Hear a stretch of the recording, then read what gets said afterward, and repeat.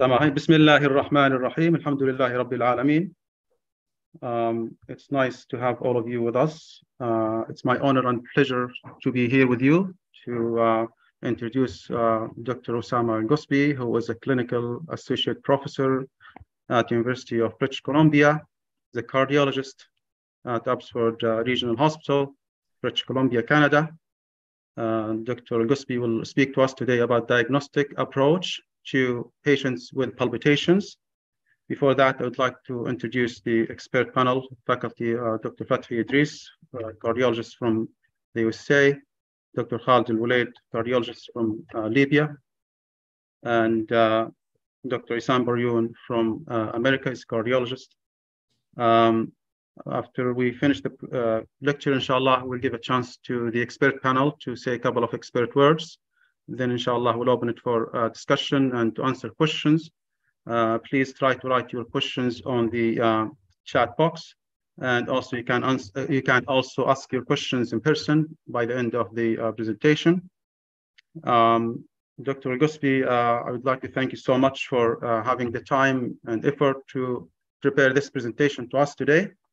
And it's the, the floor is yours now, and you can start your presentation. بسم الله الرحمن الرحيم والصلاة والسلام على أشرف المرسلين. بارك الله فيك دكتور عبد الغني بارك الله في الإكسبرت بانل تسمع فيها كويس يا عبد الغني؟ واضح الصوت. شكرا. المدة اللي فاتت كلمني من اللي كلمني على على البرزنتيشن قال لي نبوك دير برزنتيشن على البالبيتيشنز طبعا البالبيتيشنز هي هذه ركيكة شوية. لكن ما قدرتش نقول لا فتوكلت على الله وحاولت نحاول ندير برزنتيشن فقعدت نسال في روحي what am I going to teach the smartest physicians on the planet that they don't already know ف very quickly I realized that I'm not going to be able to teach them anything so I decided to give a little brief talk about palpitations in general and then talk about two new modalities that patients use to monitor their heart and something that causes or may not cause arrhythmias and something that may or might not be able to treat arrhythmias. And then I'd like to talk about two other controversial uh, topics just to initiate discussion. So there's really not much learning here, but I'm hoping that at the end of the talk, there will be a discussion about the things that we uh, presented today. So, palpitations. It is one of the most common symptoms that you're going to face as a physician, especially as a cardiologist. Now, most of these, these uh, palpitations are going to be benign, so luckily we're off the hook. However, it's those small group of people that have dangerous arrhythmias that present as palpitations. And if they're not taken seriously, then these might be missed and we get into trouble. Um, so in order not to miss any dangerous arrhythmias that cause palpitations, you have to have a thorough approach. So what does the patient mean when they say I have palpitations? So we have to define what palpitations is. It's a very subjective symptom. And when you start talking about something that's subjective, it's difficult to define. But in general, it's an unpleasant awareness of the heart, whether it's a forceful beat, whether it's rapid, whether it's regular or irregular. Some people will describe it as a fluttering sensation or a flip-flop sensation or a pounding sensation. They can feel it in their chest or even their neck. Now, we'll probably have to talk about the terms that are used back home in Libya. Obviously, they're going to be different. So what does the patient want to know when they come to see you for palpitations? Very simple. What is this, doctor? What is causing these palpitations that I have? Is it serious? Is it going to kill me? And what can you do about it? what does the doctor want to know? The doctor wants to know that he's not going to be sued. And if anything happens to him or any bad outcome happens to the patient, that the family is not going to come after him. So there are different ways of classifying palpitations and how to approach them. This is one way. You divide it into having a normal rate and a normal rhythm, and then we'll go into the differential of each one. Normal rate, irregular rhythm, fast rate, normal rhythm, and fast rate, irregular rhythm. If you can just start off with this in terms of differential diagnosis in your head when you start asking the patient questions, hopefully you won't miss many arrhythmias um, when you use this approach. Now, this is not the only approach. Maybe during the discussion, other people might have different way of uh, starting off, but this I found this very simple and easy to remember. And it helps me remember the differential diagnosis under each one. So for example, uh, normal rate, normal rhythm is gonna be a normal sinus rhythm. Um, normal rate, irregular rhythm, and you can see the differentials there, atrial flutter, PACs, PVCs, etc. Fast rate, regular rhythm, either sinus tachycardia or atrial tachycardia or SVT. Most commonly, atrial flutter can also be regular with two to one conduction. Pacemaker mediated tachycardia can be regular. Accelerated junctional rhythm can be regular. And obviously VT can also be regular. Fast and irregular, the classic is atrial fibrillation, but you can also get atrial flutter with variable conduction or variable block, as well as um, uh, sick sinus syndrome and multifocal atrial tachycardia. So cardiac etiologies um, is the main one that uh, we're usually uh, faced with. However, there are different etiologies of palpitations, a lot of etiologies. And it's better to classify them into systems so that you don't forget them. Because if you just have a big laundry list under everything, then you might not uh, remember everything. So if you divide it into categories, then it's easier to remember the conditions under each category. So cardiac causes, we know arrhythmias are going to cause palpitations, but other conditions like valvular heart disease and intracardiac shunts and myxomas can cause palpitations as well. High output states. Um, let's not forget pregnancy is a high output state, and there are a lot of patients who present uh, with palpitations during pregnancy. In fact, a lot of uh, the arrhythmias that may happen before pregnancy are made worse during pregnancy. Anemia is a cause and uh, fever. Metabolic causes like hyperthyroidism is a classic one. Catecholamine in excess, whether it's due to exercise or stress. Substance abuse, very important. Uh, cocaine, alcohol, nicotine, caffeine, which we will discuss later on, might not really be a cause.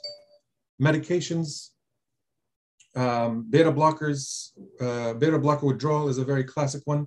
We do sometimes tend to forget about this one since we sometimes ask for medication and the patient doesn't say they have beta blockers on board. And so we don't uh, remember this all the time. So just keep this in mind. Psychiatric disorders, very important uh, because it can be very frustrating when you've done all the workup, very expensive workup, and you end up finding nothing and it ends up being just a panic disorder. You could have saved uh, the healthcare system a lot of money just by uh, diagnosing that the patient had anxiety or a panic attack. So evaluation of palpitations. Palpitations in general have not been studied in very big studies. So all these studies that I'm gonna quote you are very small studies that can be torn apart really, but uh, nonetheless, they give us an insight or ideas of what we may use uh, to help manage or approach these patients. So in one study, they looked at 190 consecutive patients who presented with a chief complaint of palpitations. They found that 84% had a known etiology. So they, they diagnosed the cause. 16%, they were not able to diagnose the cause.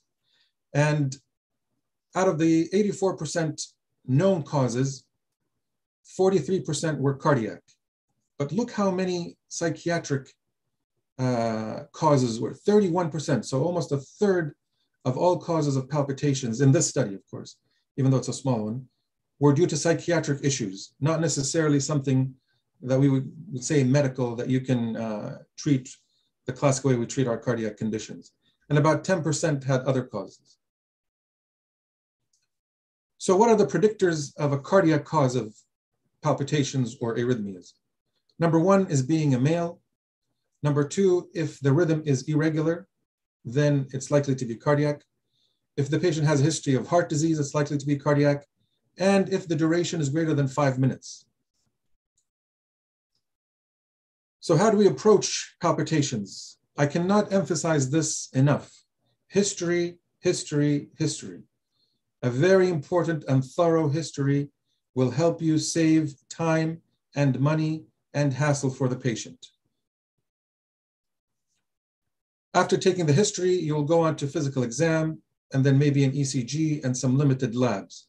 However, if you do suspect that there's a cardiac cause of these palpitations, then other investigations might be needed, but make sure that you don't over investigate and cost the system a lot of money for no reason. In terms of history taking, there are a number of categories, and it's a very extensive list.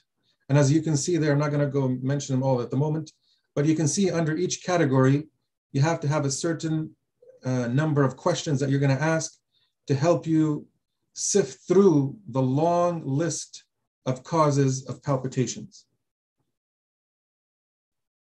So age. Age is, an, is not an independent predictor of the presence of cardiac cause. So just because a patient is old does not mean that they're going to have a cardiac cause, or if the patient is uh, young, doesn't mean that they're going to have not going to have a cardiac cause. In fact, uh, if uh, patients who uh, have AVNRT and AVRT usually present during childhood, whereas other uh, arrhythmias like atrial fibrillation or tachycardia, atrial tachycardia or flutter uh, will present in older patients. Having said that, older age is a risk factor for life-threatening ventricular arrhythmias, but not exclusively because we know that adolescents can have life-threatening arrhythmias as well, such as ARVC or idiopathic VT or um, uh, outflow, outflow tract uh, VT or congenital long QT syndromes that can cause arrhythmias, which are usually life-threatening. The duration. If they say, doctor, it only lasts for an instant, then it's likely PACs or PVCs. If it's sustained, then you have to look for longer arrhythmias such as SVT or VT and the differentials under that. Rate and rhythm, um, this is something that you have to discuss with the patient. And some, something that we all need to learn how to do is to tap on our desk the rhythm of the, to the patient or ask the patient themselves to tap on the desk on your, in your office of what they feel. And very commonly, you can easily differentiate a regular rhythm from an irregular rhythm just by doing that, which will help you right away in your differential. Remember that presyncope or syncope, syncope is rare in palpitations, but if it does happen, then you need to be very careful not to miss anything that's hemodynamically significant and might cause uh, very uh, bad outcomes for the patient. Abruptness of onset. So it's important to ask the patient whether the, uh, the onset is random or episodic, which would suggest PACs or PVCs. If it's a gradual onset and a gradual resolution, or I ask them kind of a, a, a, a slow warm, uh, warm down, um, then it's sinus tachycardia. If it's abrupt onset or abrupt resolution or both, then you need to think about SVTs like AVNRT or, AR, or AVRT, etc. However, abrupt onset is not always very helpful because they can say it was abrupt or it wasn't abrupt. And sometimes the patient doesn't always feel or remember the abruptness um, of the uh, onset. However, once they do get the arrhythmia, eventually when they recognize it, they will recognize the offset, which was more helpful. You can ask them whether the patient whether they're able to terminate their arrhythmias. So whether they can do the carotid sinus massage or vagal maneuvers. And if they do, that would usually suggest that it is an SVT. Postural changes. So we will discuss this a little bit later as well, but certain positions may precipitate certain arrhythmias. and certain positions may make certain palpitations or arrhythmias more noticeable. So for example, if patient is bending down and they sit upright and all of a sudden get palpitations, this may indicate onset of an AV NRT. Whereas if the patient says, doctor, at night when I lay on my side, I feel my uh, palpitations, then those could be just a PAC or a PVC, especially when the apex of the heart is more closer to the chest wall when you're laying on your left side and the patient is more aware of them. Exercise is important. So if people, if patients have arrhythmias during exercise, this is something for concern, especially in young athletes. And in these patients, um, they can get an SVT or the atrial fibrillation uh, is brought on by exercise. Usually at the end of exercise, since there's a little bit of an increased vagal tone, which can trigger atrial fibrillation. Like I said, it's usually seen in uh, athletic men that are young. I'm glad they mentioned that 50 is still young, so that's a good thing. Um, other arrhythmias during exercise can be found in people who have structural heart disease or ischemia, and those are usually either ventricular tachycardia. Um, usually, a, an, an arrhythmia that occurs during exercise that's not sustained is generally benign. Emotional distress. Um, we all know this classically from our medical school years that certain long QT syndrome types will develop polymorphic VT or VT if somebody startles them or yells them or anything that might uh, make them get shocked um, can precipitate the arrhythmias and the palpitations. A focused physical exam. So this is just a laundry list of what some physical exam findings that you need to look for and what they may suggest, starting with the patient's temperature. Now, obviously, we don't measure this much in the office, but if you can, that's good, but you can also ask the patient. Um, so if they do have um, a high temperature or fever, you might need to think about inflammation and malignancy or myxomas causing the tachycardia and the palpitations. Check their blood pressure. Um, if it's high, then you think about pheochromocytomas or drug abuse, or again, beta blocker withdrawal. Uh, auscultation, if they have a uh, mitral valve prolapse, can present uh, with mitral valve, mitral valve prolapse syndrome and PVCs and palpitations. If there is a harsh murmur suggestive of LVOT obstruction, then you should think about hypertrophic obstructive cardiomyopathy.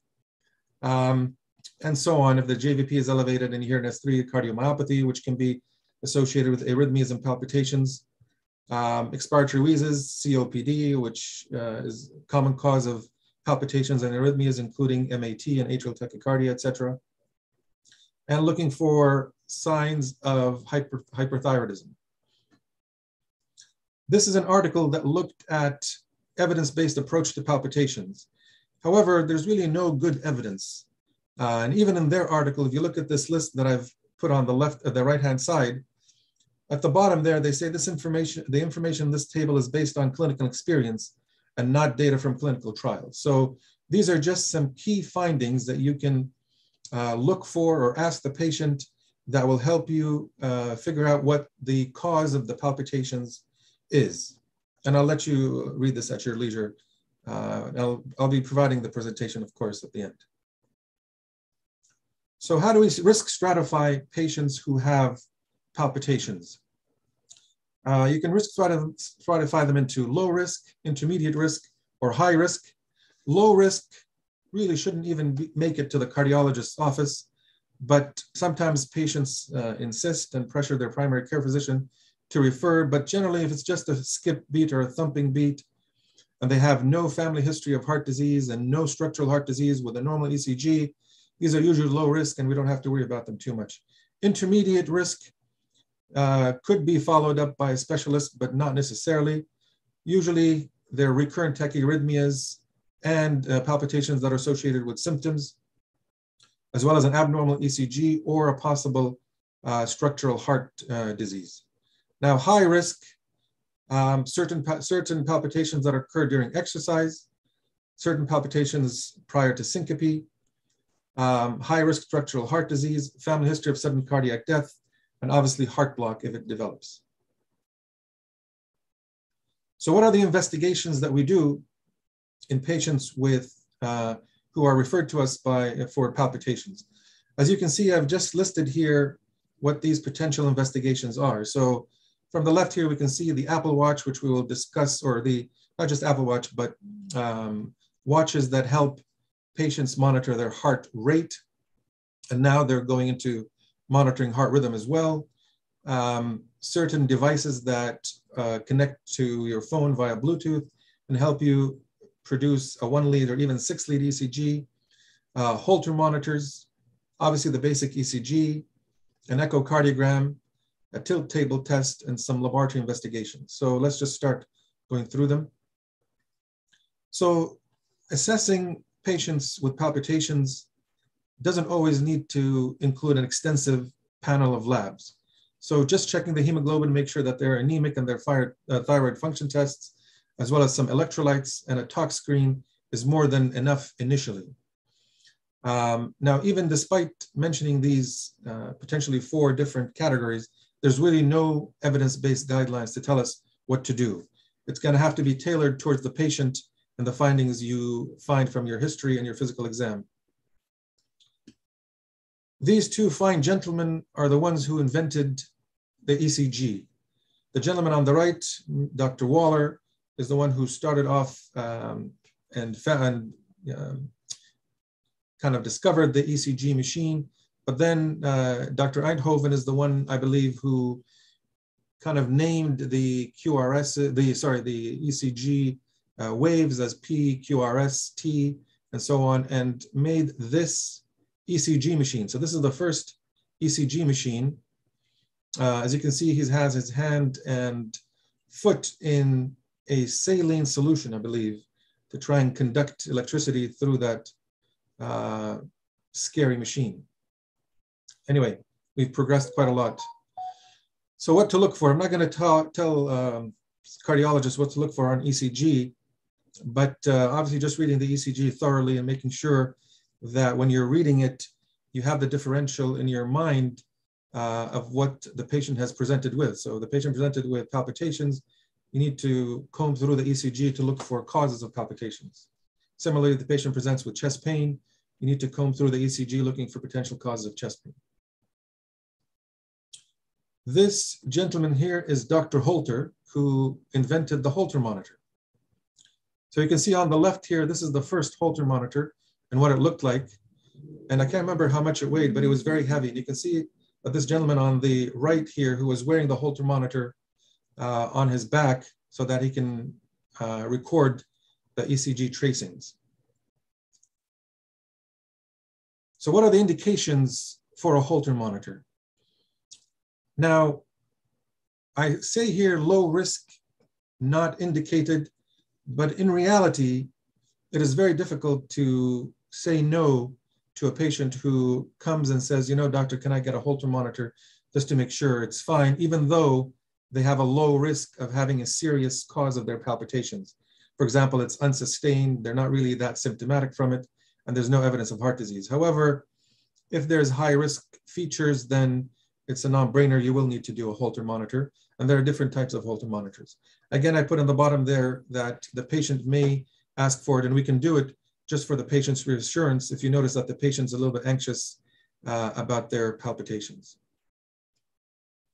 These are different types of Holter monitors or monitoring systems. So let's start off with the bottom right here, the classic um, Holter monitor there are some three, lead, three wires or five wires, depending on how many channels uh, you would like. Now, these Holter monitors can be uh, worn for 24 hours, for 48 hours, or for two weeks, or for even four weeks. Now, these can be either uh, event monitors, whereby the patient um, wears them and records when there's an event only. And usually that event monitor is programmed to record two minutes prior to an event and two minutes after the event. But other than that, it's not always recording. whereas the, um, the two week or the month, one month Holter monitor will record everything for the whole duration.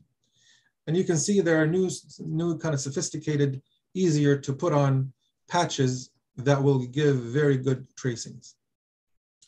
Then there are the implantable loop recorders. So these are the, are the top left. You can see here that there are three types of different companies. The smallest one here is called the Reveal uh, device, and it's, we call it implantable loop recorder. You have to have a very good reason to implant this device because it's not without its complications. It is very too easy to insert, but it costs about, at least here in Canada, about 35, uh, $3,500 for the device, not including the hospital fees and the physician fees. So what about Holter monitors? So the 24 hour Holter monitors are usually limited because of the limited duration of time. However, um, when you do the Holter monitor, you might pick up arrhythmias without the patient even noticing them. So they just go over, I want to go over two small trials. And again, these are not big trials and not, you know, superbly um, uh, conducted trials, but one trial that looked at 1,400 patients with palpitations, and they were aged 60 to 94. About 8.3% of these people complained of palpitations, but 12.6% had arrhythmias. So more had, so there were about almost 4% of people had arrhythmias that they didn't really know about. And the prevalence of palpitations was similar in patients with and without the documented arrhythmias. So some, you know, you have to be careful what you wish for when you, get, you know, put a patient, when you put a Holter on a patient. In another trial about for uh, looked at 518 patients who underwent a 24-hour Holter monitor, 34% experienced typical palpitations. So they say, doctor, I had palpitations. And then when you look at the uh, monitor, the Holter monitor, the rhythm was normal. There was nothing. In a way, this is not a bad thing because it reassures the patient and reassures you that their symptoms are not that serious. And when they do complain of this, these symptoms, the uh, rhythm is normal. So what about continuous loop devices? These are the usually two-week monitors compared to the 24-hour Holter monitor.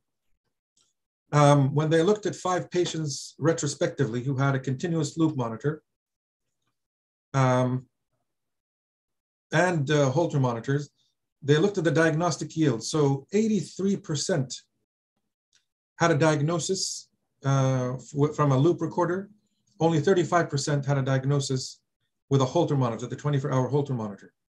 When they looked into the um, loop recorders or event monitors, these are not the implanted ones, they found out that they were able to find the cause and make a diagnosis in the first two weeks. So 87% in the first two weeks, you had the diagnosis. In about 9%, it took about four weeks to get the diagnosis.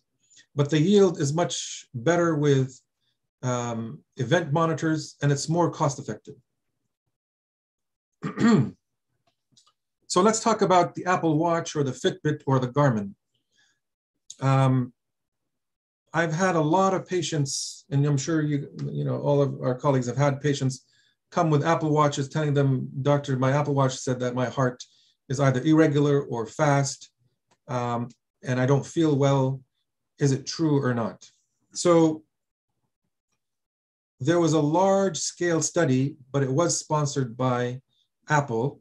And I'm a very anti Apple person, I'm a very pro Android person. But nonetheless, I have to admit, uh, Apple does have a good product. Um, and they looked at whether the uh, Apple Watch was able to um, detect atrial fibrillation. So there were about over 400,000 participants. And again, this was a very poorly uh, designed uh, study, but because of its novelty and they call it a pragmatic study, it was actually published in the New England Journal. So out of these over 400,000 participants, 2,000 and uh, just over 2,000 patients had a notification of an irregular pulse from their watch. Once they received the regular uh, notification, they were sent ECG patches to form a whole to uh, get a Holter monitor. Out of those 2,000 patients, only 450 people participated and sent a very good quality ECG patch data that can actually be interpreted. Out of these 450 patients, 34% had atrial fibrillation. Out of these 34%, 35% were patients that were 65 years old, 65 years and older. And what they said was that 84% of notifications were concordant with atrial fibrillation. Now, this talk is not about atrial fibrillation, but it does help to know that if a patient complains to you about palpitations and they say, doctor, my Apple Watch is telling me that I have an abnormal uh, rhythm, to look into it because it might be uh, real. Sorry, let me just go back. With regards to the uh, watches or the Apple Watch, um, I had a patient a few months ago who came and told me that my watch is telling me that his heart rate is about 200. Uh, sorry, he was actually referred to me by the GP because he told his uh, family doctor that. And so when he came and taking the history and I asked him whether he felt anything while his heart rate was, his watch was telling him it was 200. And he says, well, you know, sometimes I feel it, sometimes I don't. It usually happens when I exert myself. So how am I going to figure out whether this is real or not? And he showed me the watch, but his watch did not uh, record an ECG, just a heart rate. So I told him, let's do this experiment. I gave him a 14 day Holter monitor. I told him to do all the things that he does that trigger the fast heart rate recording on the Apple Watch and document the time and date, and we'll see whether it correlates with anything on the Holter monitor.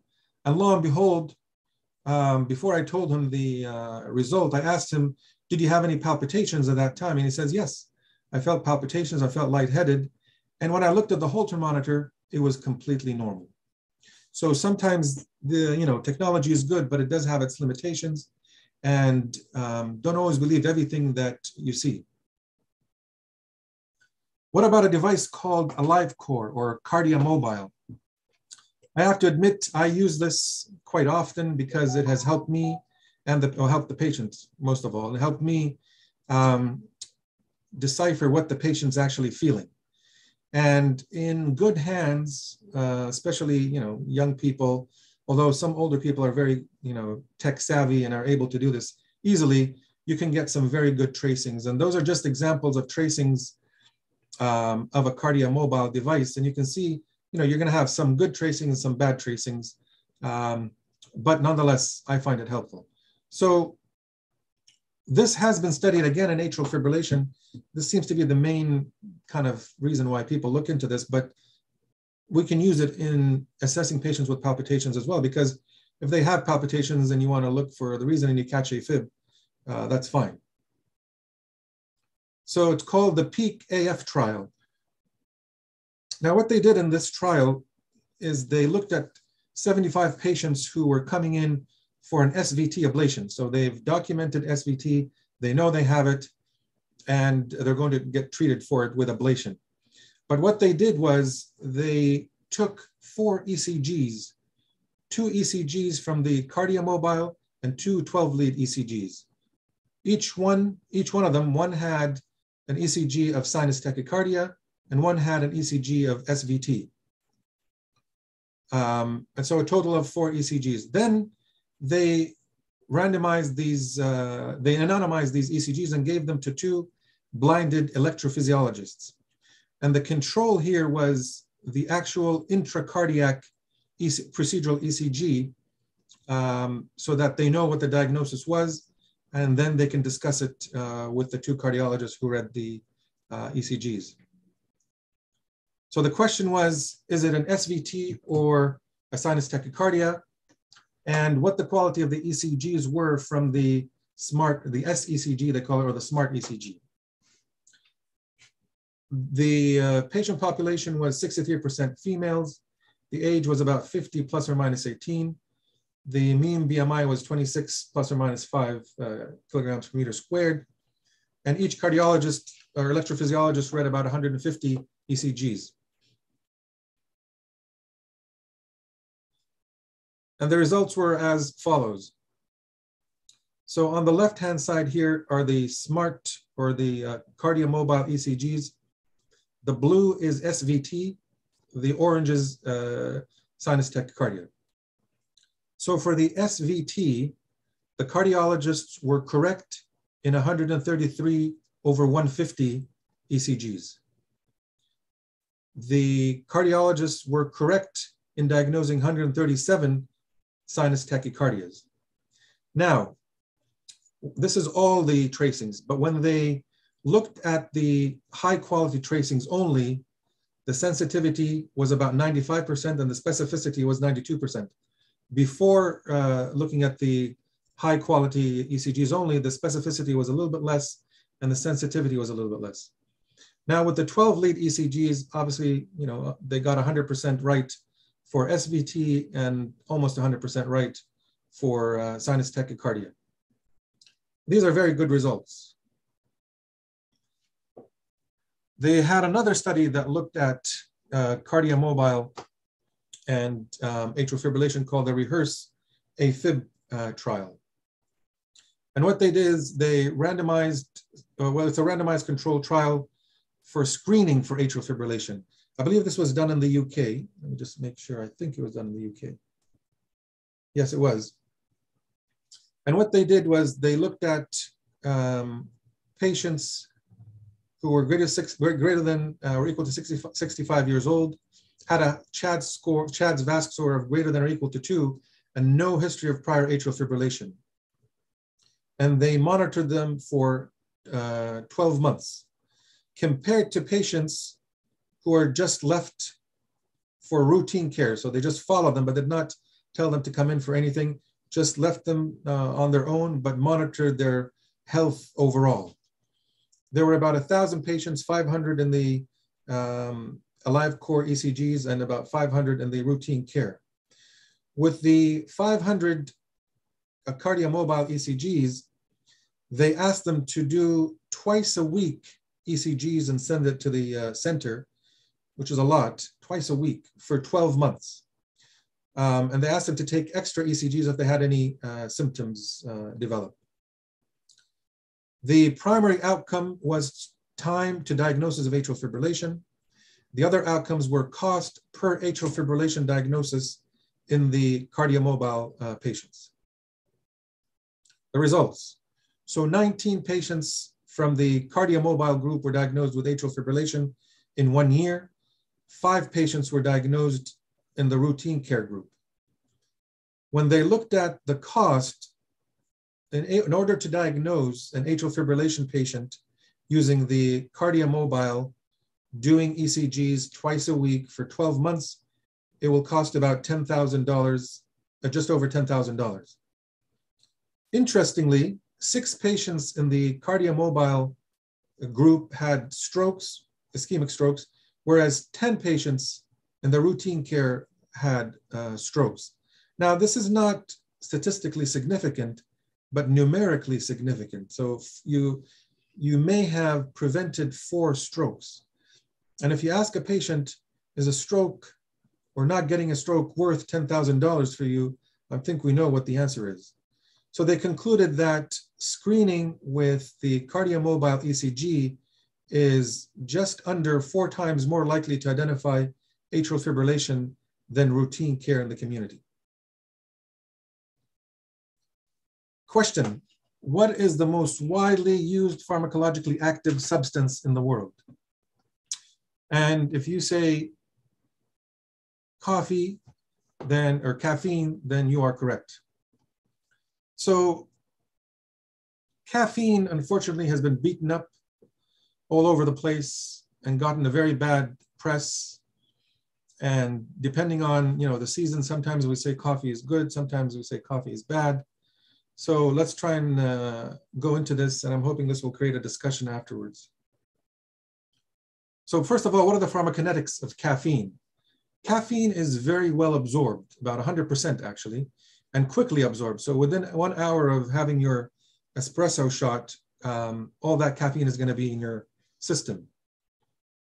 And whether it's on an empty stomach or not, you'll still absorb all of it, but the rate of absorption will go down with uh, food. The effect of caffeine in your body will usually disappear within 10 to 60 hours. Interestingly, caffeine does cross the placenta and breast milk. And I wonder if any study has been done to see whether the kids or the children of women who drink a lot of coffee during pregnancy and during breastfeeding uh, uh, end up being uh, caffeine junkies or not. But I don't think that study has been done yet. So overall, let me just start off by saying that despite all the theoretical relationships of caffeine with arrhythmias, it does not provoke arrhythmias in the usual dose or consumed amount that we drink, up to five cups or even more than five cups, as we will see in a study. However, if a patient comes and tells you, doctor, when I drink coffee, I get palpitations, you know, we're not going to argue with that patient. I mean, you are sensitive to caffeine. And just to note that in, there's more in coffee than just caffeine. In fact, there was somewhere I read that it's almost like 150 different things that are in coffee, and caffeine is just one of them. So caffeine and cardiac ectopy. So this was a uh, study that looked into the cardiovascular health study, which is a big study that um, looked at patients and information they kept about themselves and diaries and so on. But just to focus on um, the caffeine and ectopy or palpitations, they looked at just over 1,400 patients that were greater than 65 years old who completed a diary um, about their symptoms. They had a 24 hour Holter monitor. And what they found that people who were drinking coffee, in people who were drinking coffee, there were no differences in the number of PACs or PVCs across different levels of coffee intake. This was the recent study that was published about coffee, and I'm hoping that this might put things to rest. But again, unfortunately, the source of this data um, might not always be that robust. But nonetheless, um, I'm hoping that uh, we don't have to look at this uh, anymore. But we'll see what happens in the discussion. Maybe people have other opinions and other resources and studies that they've seen. So this study looked at the UK Biobank, which is a bank of information about 500,000 people uh, in the UK and stores their genetic information and the health, health information and behavioral information. And this is what this study looked at. So they looked at this under just under 500,000 participants between January 2006 and December 2020 and the follow-up was up until August of 2021. I think the median uh, follow-up was about 12 years, if I'm not mistaken. They excluded people who withdrew their information from the bank, bank, obviously, or those who did not provide all the information, such as how much they smoke, how much they drink, or and so on. Um, if patients reported atrial fibrillation, they were excluded. If patients had cardiovascular disease, they were excluded. And the coffee consumption was split into six groups, either no coffee, less than one cup, one cup, two to three cups, four to five cups, and greater than five cups. They looked at three types of coffee. One was decaffeinated coffee because of this uh, question of maybe it's not the caffeine that causes the palpitations and the cardiovascular events, uh, effects. They looked at instant coffee, which is a lot of what the British people usually drink, and ground coffee, which is more common in North America and uh, some European countries. So the impact uh, of coffee was looked at uh, through the, its effect uh, on cardiovascular disease, which was uh, described as coronary artery disease, heart failure, ischemic stroke, arrhythmias, which is our uh, concern here today, ectopy, AFib, flutter, SVT, and VT or VFib, mortality, with uh, looking at the all-cause mortality or cardiovascular mortality plus sudden cardiac death. And the primary outcome was relationship of coffee subtypes and the incidence of arrhythmias, um, as well as cardiovascular disease and mortality. So what were the results? This is just to show you how many people drank what type of coffee. So there were over 100,000 non-coffee drinkers, over 68,000 decaffeinated uh, coffee drinkers, 82,000 ground coffee drinkers, but mostly almost 200,000 instant coffee uh, drinkers.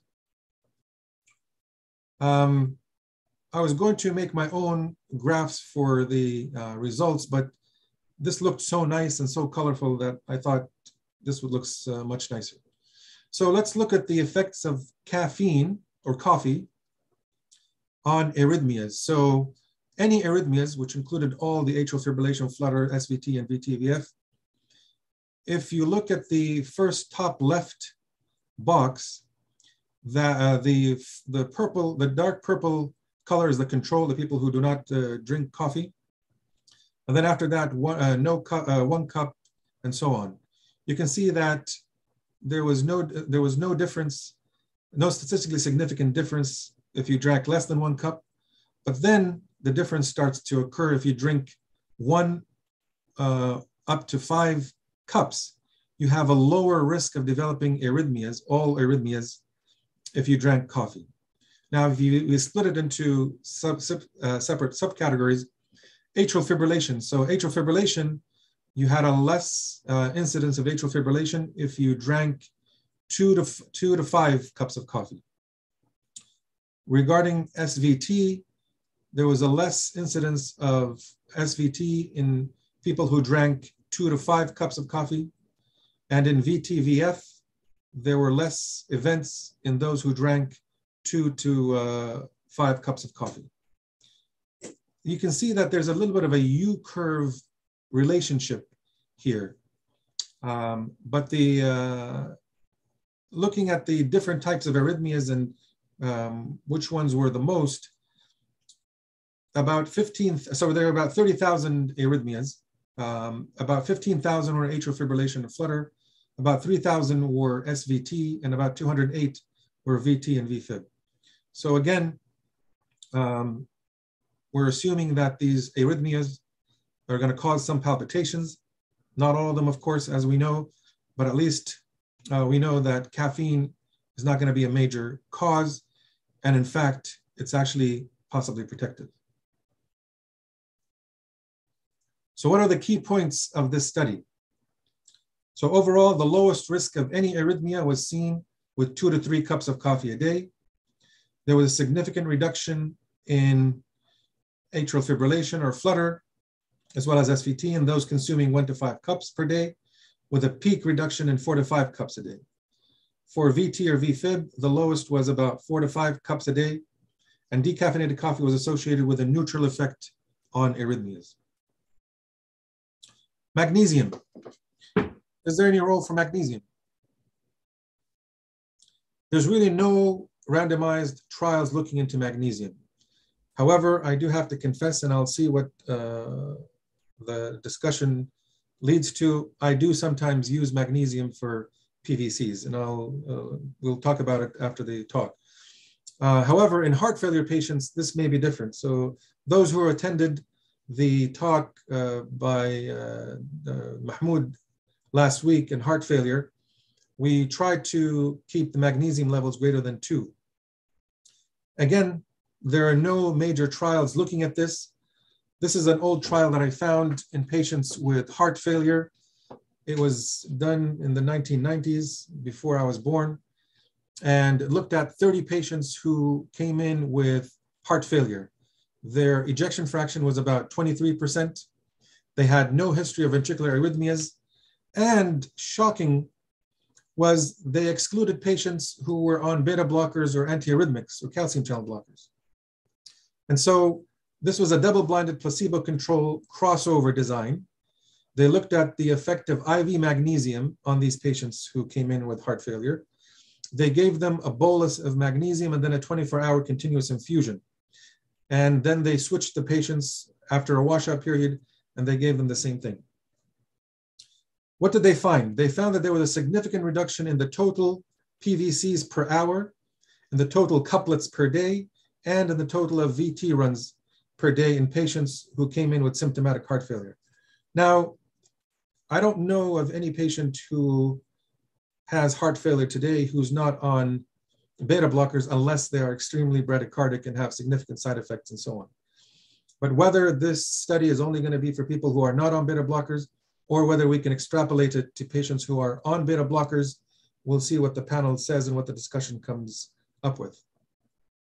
Okay, fairly quickly, I want to talk about two uh, syndromes um, fairly quickly that are very difficult. You will see them. Uh, they're very frustrating to manage. They're very stressful for the patients and need a lot of patience from the physician to try and almost literally hold the patient's hand through these two conditions. So the first one is postural tachycardia syndrome or postural orthostatic tachycardia syndrome. Um, when I was a resident and read about this condition, I always thought that there had to be a drop in blood pressure because we associated the word orthostatic with a drop in blood pressure because orthostatic hypotension. And in fact, orthostatic is just a word meaning upright. So you can have orthostatic hypotension, orthostatic tachycardia, orthostatic anything.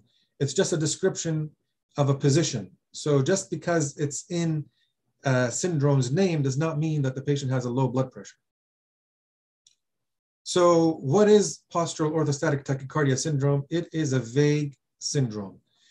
Essentially, people have orthostatic intolerance. When they stand up, they are symptomatic. The mechanism of this, as we will see, is not known. And when you have something that's being described as having multiple um, mechanisms, that means we really don't know the mechanism.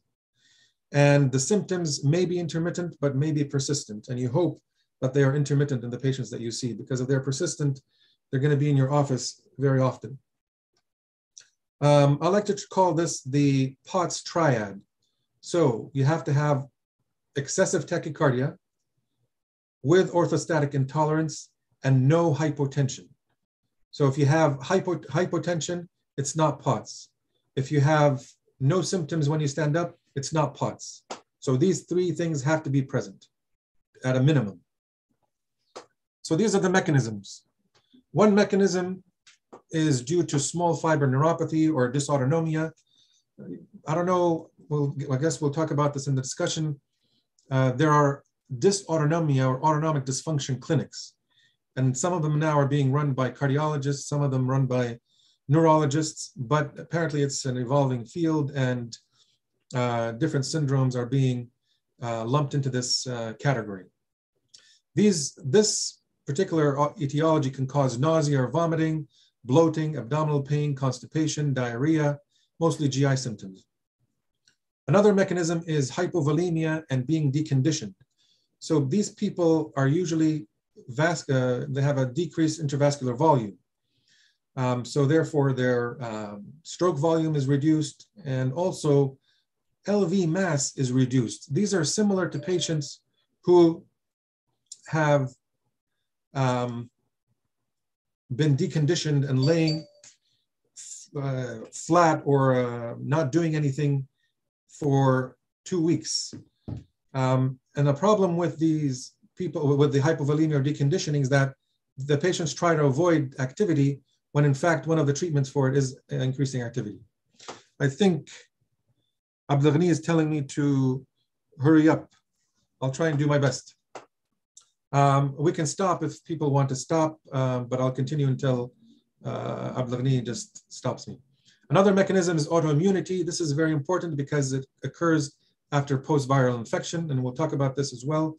It could be also due to neuroendocrine dysfunction, uh, due to a hyperadrenergic state causing these symptoms. The epidemiology is usually white, young females. Um, clinical features, there you can divide them into orthostatic symptoms and non-orthostatic symptoms. Orthostatic symptoms are palpitations, lightheadedness, uh, blurry vision, fogginess, shortness of breath, maybe chest pain, uh, difficulty concentrating. Non-orthostatic symptoms can include fatigue, cold feet, which is very useful. Patients will have almost like mottled feet, um, depression, anxiety.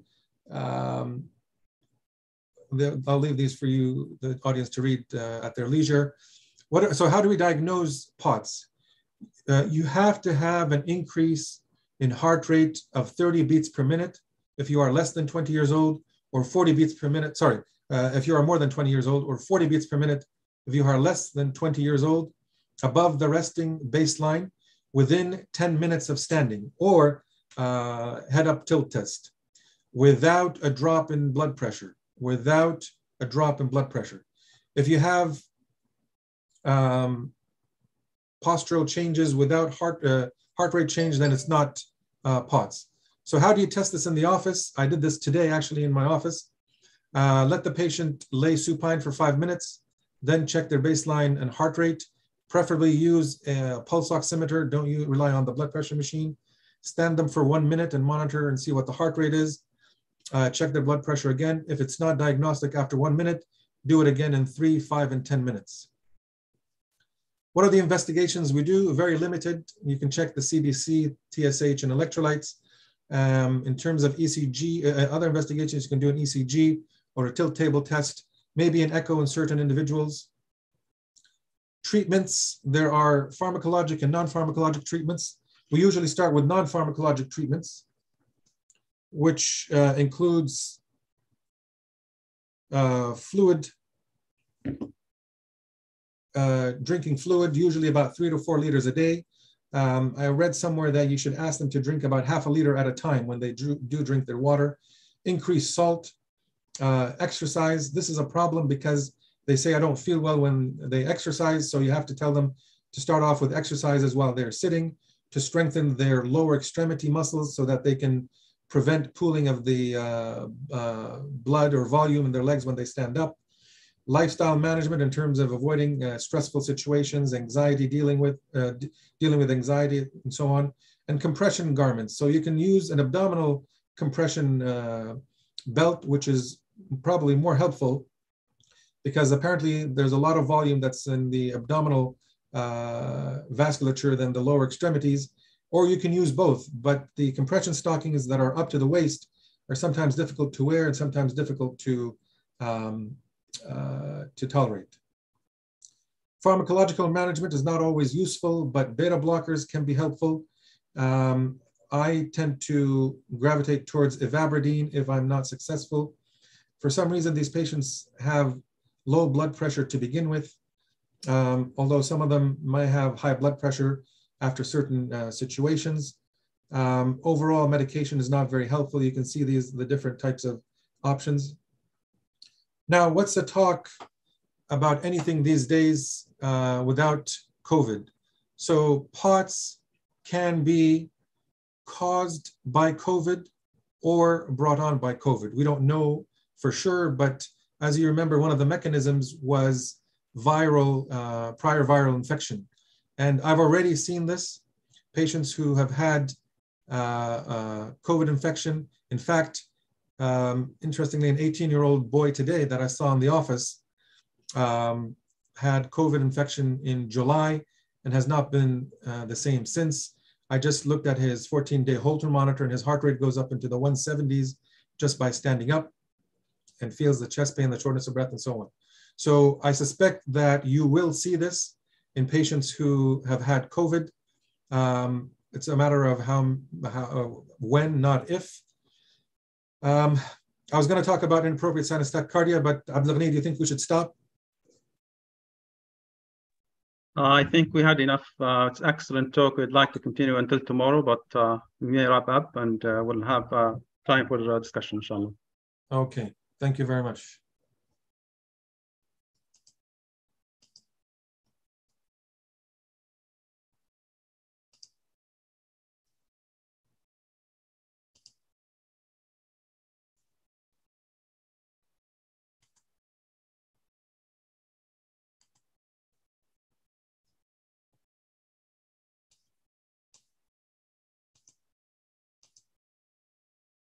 عبد الغني نعم Sophia. I hear you yes okay yeah yeah you're good here uh, you can just say for final words then we'll open for discussion inshallah نعم if you have your conclusion and then we'll discuss we'll لا خلاص uh, conclusion there was a lot of stuff to conclude but I can conclude maybe just by saying that palpitations uh, can be easy to treat and can be very difficult to treat uh, keep an open mind. Uh, the patient came to you because they have a concern. and try to either alleviate that concern or treat that concern.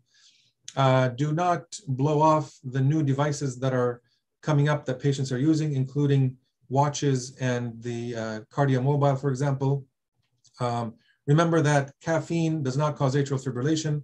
Caffeine does not cause uh, palpitations in general. However, if a patient tells you they have it, then they have it.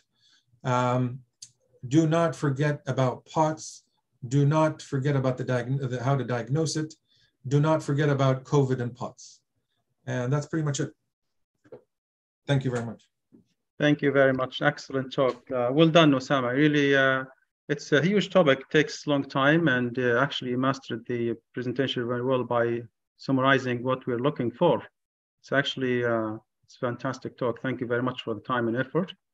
Uh, just I'm going to say a couple of words, then I'll open uh, the uh, uh, the floor to my other colleagues from the expert panel to say a couple of uh, expert words about the presentation, and then we'll open for discussion, inshallah, quickly. for me, it's, it's excellent presentation again, and for for us, we have to remember to go systematic, as you Usama mentioned, about taking history and physical examination and then necessary investigations. As by taking good history and physical exam, you may rule out most of the high risk patients. But remember always to ask about the high risk features. If you want to miss things, don't miss the high risk features. Very important, like age, patients with heart, uh, with heart disease, especially ischemic heart disease, old MI, and uh, patients who come with syncope, uh, palpitations after exercise. Uh, family history, very important, sudden, family history of sudden death or family history of other arrhythmia. The patient might tell you. Yeah, just yesterday I had a patient who had WPW. She came to me, said, my sister had WPW. Bang, you have the diagnosis. So just uh, by uh, taking some history, you may be able to sort out most of the diagnosis. Then if it's difficult, you have to investigate to rule out underlying pathologies. Uh, ECG, always do an ECG in the office if you have capability. It's very, very, very important to help you to diagnose or rule out high-risk features, especially looking specifically for, for example, PR interval. Sometimes you quickly look at the ECG, but PR interval, short PR, uh, long PR, long look for QT interval, short or long QT. It's important. And uh, physical examination, obviously vitals, but palpitations, try to feel the pulse. Sometimes you miss have diagnosed many, many patients with just by palpating their pulses uh, with atrial fibrillation, PVCs, etc., just by palpating their, their pulses. And uh, listen for murmurs. If you suspect, for example, HOCM, listen for murmur, for murmur of HOCM or any valvular disease that might be causing that. Uh, I'm, I'm not going to speak too much about the other investigations because they, they are uh, based on the necessity of the case. And if the patient is requiring further investigations like Holter's I prefer to do basic investigations first. I do echo for if there's clear indication. Most of my patients, uh, I do echoes, uh, but some of them are not. Try not to spend too much uh, time with the psych, psych, patients, but try to rule out the high risk features for those patients. And uh, uh, caffeine, excellent, uh, Osama, about the caffeine. It's excellent uh, presentation for the, especially that caffeine is, is really good for our health and you should enjoy your morning coffee but don't overdo it. That use it wisely, it's very good, it's healthy. That doesn't cause malignant rhythm problems, but don't overdo it. Uh, unless there is a patient who is sensitive, as Usama mentioned, then you may tell them to uh, reduce the caffeine. I don't tell them stop it. I tell them always avoid any cardiostimulant triggers, especially alcohol or other drugs, but caffeine just to reduce it. So I'm going to open now to uh, Dr. Khalid Al-Wulaid, Dr. Uh, Fathi Idris, and Dr. Sa uh, Isam Baryoun. Uh, I'll start with you, Dr. Khalid Wulaid, if you can unmute yourself and you can uh, say a couple of words about the presentation. Dr. Khalid Al-Walid, if you hear Yes. That's perfect. Yes, with you, Dr. Abghani. Okay. Assalamu alaikum. Salam. Thanks, Dr. Osama. You hear me well? Yes. Um, very good and very informative uh, lecture. Thank you very much for your effort. You summarize uh, most of our uh, points in our mind, and you uh, you give us a, a good summary for this. Um, uh, just I want to talk uh, um, about some practic, uh, practice point in, in our practice here in Libya. I don't know if these points are present there or not. Um, for example, the the initiation of, of antiarrhythmic treatment early before reach the diagnosis. Uh, just patient one visit, uh, in first visit, uh, visit come with palpitation, they give him a beta blocker. This can mask the, the story, and we don't know. Uh, we have we face the, some people who's taking, for example, Concor for 10 uh, years, and he even the patient he doesn't know why he take this medication, and we don't uh, have a real diagnosis. Uh, this is a common practice in Libya. Uh, really, we face this point. Um, uh, we can say that it's a premature initiation of antiarrhythmic treatment before. I think it, we should always uh, catch the arrhythmia. We should have a, a record for every patient uh, before we start the antiarrhythmic treatment. The other point, uh, if uh, so, some some patient present with the arrhythmia to the to the ER, and they diagnosed correctly with SVT, for example, and they give a, a good management, they, but they don't record this arrhythmia. Just they give them um, uh, the treatment and finish the attack and go home. When this patient come for uh, follow-up, he he can um, give you the story. He can he, he can say for you, I come with palpitation to the ER, and my heart rate was 200 or 220 in the monitor. I see it, and they give me some IV medication, and it is finished from that time. But what this arrhythmia was, we don't have a recording. Uh, it's uh, very important to record if there's not emergency. We should record this uh, arrhythmia because we should have a plan for the next step if this uh, medication uh, or this uh, arrhythmia recur or if we give him a medication and not working. We have we should have a plan. We had we should have um, strategy for the treatment. Uh, a couple of words about the Holter here in Libya. I don't know if there's same same problem outside. There are some Holters who have uh, um, uh, don't have a, a, name for the patient or don't have a good time, a real time for the uh, not uh, not correct time in the Holter. So this might uh, mask important attack. Uh, for example, there is uh, some um, Holter who has um, artifact, a lot of artifact, and some physicians um, they send you uh, or give you the record of the uh, self uh, by the computer or not not not uh, by the user user user um, not manually, not done manually, done computerized and they give you, for example, the minimum heart rate is 15, uh, 15 beat per minute, and they send patient for the pacemaker. When you look inside the, uh, the, the Holter record, you don't find any, any bradycardia. It's just in the first paper, which is uh, uh, which is uh, done by computerized, not not manual. Uh, I, uh, another another issue in Libya. There's uh, some physicians, samahumullah, they don't give the medical record to the patient. He came to him in private. He said, "You are um, indicated for the pacemaker, and you have to to to, to do it." And the patient has come to the public uh, hospital without record. So we face this problem many times. We don't have a record. So how how we will implant pacemaker without uh, uh, without seeing the ECGs? some people does not give this record to the patient, which is a big problem. I think. Uh, thank you, Osama, again. So, uh, and thank Dr. Uh, Abdulghani. I don't want to take a lot of time. I want uh, to give a time to my colleagues. Okay. Thank you. Thank you very much. Uh, excellent points. And I hope that uh, the uh, system will allow to those situations to be improved and help our colleagues in Libya to give the best care to our patients, inshallah. I'm not sure if you see Dr. Isam Baryoun. Dr. Isam, do you hear me? Isam Baryoun? Can you unmute yourself? Hello. Hi, Dr. Baryoun. أهلا بك وعليكم السلام ورحمة الله. تفضل بك. You have the floor, yeah? Yeah, بارك الله فيك. شكرا دكتور القصبي. Uh, excellent talk. طبعا palpitation as a talk is not an easy one to prepare. Like, mashallah. you did it very well.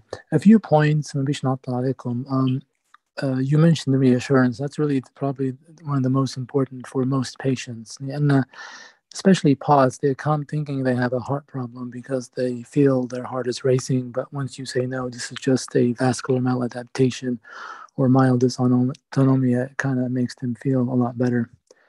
Um, the other point I want to touch on is the what's known as bradysphygmia, because you mentioned people using pulse ox at home and other type of monitors. You know, the monitor will tell them your heart rate's 40, but really they're having PVCs, and the PVCs are not counted by the pulse ox, so they end up having what looks like bradycardia, and we call that bradysphygmia. Um, a third point I see in some um, in pa- patients who have devices like pacemakers, they have an atrial lead. So the atrial lead is monitoring the atrium 24 7. So, and the ventricular lead is monitoring the ventricle. So a lot of people will think that patients with pacemakers do not need monitors. And I just want to touch on points where they do, especially the pacer dependent patients. There's really possibility that there's no capture because of high threshold intermittently or oversensing and it gets missed. Patient will say, you know, I feel a dizzy spell and then a heartbeat after that. And doing a Holter on pacer dependent patients is extremely important when they have those type of symptoms. Um, the fourth point is anticoagulation with all these fancy devices. You know, there are studies, and in the future, we may start doing anticoagulation as an PRN basis for AFib patients when, if we can prove that those home devices are very accurate in detecting atrial fibrillation, especially in the patients who are not very high risk for stroke and they are high risk for bleed, you can take them off blood thinners and monitor with Kardia, for example. That will be something we'll see in the near future. Last point is the coffee. Uh, I agree. Um, the thing I want to also remember is that you say four cups, but how big as the cup? I mean, I see people use mugs that are bigger than my head, and some people, for a cup for them is a small cup. So, uh, and that's why I liked in your presentation you put 400 milligrams of caffeine for two reasons. Number one, the size of the cup. Number two, some people drink a lot of energy drinks, a lot of sodas. So the question is going to be how much coffee. If the patient wants to, to take a permission to drink four cups of coffee, immediately I'll say, How many energy drinks do you have? How many sodas? How many tea cups? You know, and then because we've seen young people die from drinking too many energy drinks with high caffeine beverages on the same day. And um, that's all the points I have. And again, thank you very much for the presentation. Thank you very much. Uh, excellent points. I totally agree with that. Um, I see Dr. Yusuf Darat has his hand up. Please raise your hands if you have any questions. And if you I see really good uh, speakers here with us, and they can also help us with the questions and with the discussion. So please, if you have questions, write them. If you have any uh, comment, please, or question, raise your hand. I'll be happy to help you and allow you to speak. Uh, Dr. Yusuf Darat, uh, you have the floor. You can and unmute yourself.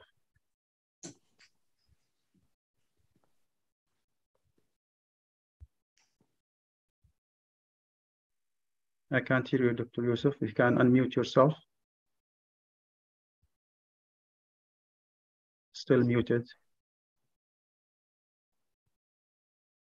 While waiting for Dr. Yusuf, there's a question. Uh, Dr. Fath Idris, can the comments? no, Dr. Fath Idris is on call. He's with the Ah, patient, okay. so he'll be with us shortly, okay?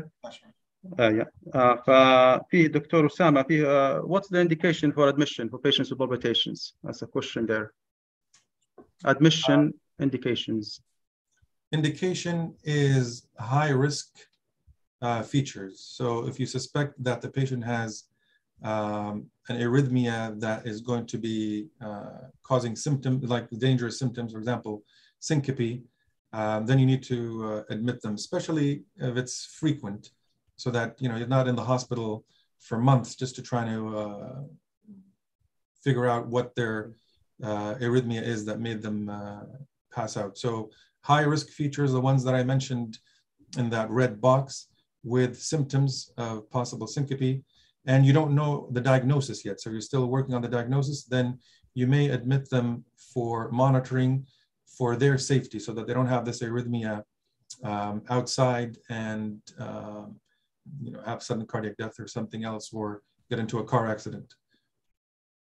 but for just the regular run-of-the-mill palpitations with no high-risk features, you know, we said the low-risk ones don't even need any uh, investigations, um, but and but the uh, high-risk features are the ones that do warrant investigation. And if, if you're afraid of the patient might uh, harm themselves, then you can admit them. Yes.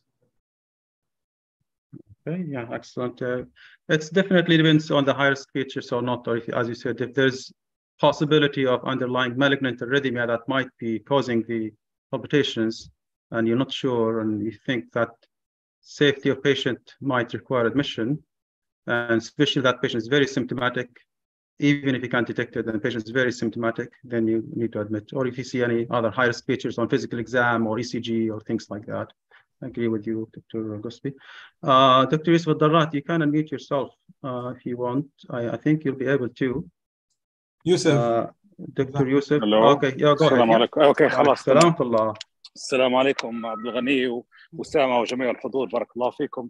آه، محاضرة ممتازة واسامه بارك الله فيك. انت قلت ركيكة لكن ما شاء الله أنت خليتها ممتعة جدا وغطيت آه، يعني التوبك بجدارة يعني. آه، بارك الله فيك حتى دكتور خالد وليد على ال- الإنبوت بتاعك بخصوص لي بنقاط مهمة جدا. وعصام بارك الله فيك. وإن شاء الله أن الدكتور فتحي يلحق يعني. أنا بس عندي نقطة على ال- الكافيين أنا الدراسة اوبزرفيشنال ستدي وأنا عندي تحفظات عليها لأن أنا في اعتقادي يعني اعتقد حتى ناس هلبة قريت لهم إن دي يعني عندهم خلفية على statistical analysis والدراسات إن البيشنتس who have palpitation will avoid coffee. يعني فديرباي في السيرفي هذا أو في الداتا يعني اللي عنده palpitation و SVT arrhythmia they will avoid coffee. They will, it will appear that coffee has reduced arrhythmias. لكن in fact it's uh, not not the case لأن they avoided يعني أي أحسن ستدي تندار هي انترفنشن يعني مثلا ستدي زي هذه آه، دي راندمايزيشن حط بيشنتس يشربوا كافي وبيشنتس ما يشربوش كافي وشوف الديفرنس يعني. لكن أعتقد هذه مشكلة الستدي هذه. طبعا زي ما كان الدكتور عصام وحتى عبد الغني علق انه آه، يعني البيشنتس should be cautious about coffee. يعني too much coffee may cause arrhythmia still in, in my opinion.